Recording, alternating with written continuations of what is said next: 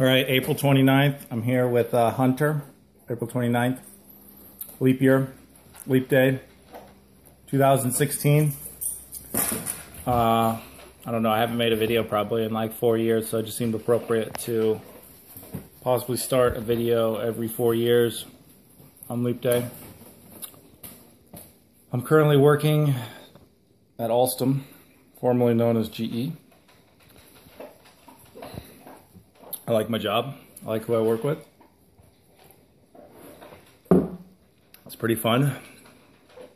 Um, interesting uh, year so far. We have, uh, probably since my last video, we've adopted two kids, William and Paige. And um, we currently have a foster child named Sam, who's going to be reunited with his biological mother in the next month or so. And um, yeah, life is good.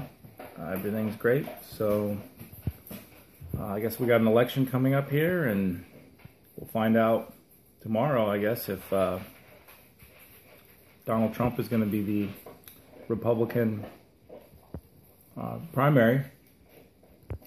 And I guess we'll also find out if um, Hillary Clinton is the Democratic primary candidate. So, uh, yeah, we'll find out, and hopefully Donald Trump will win. So now I'm just going to end my video.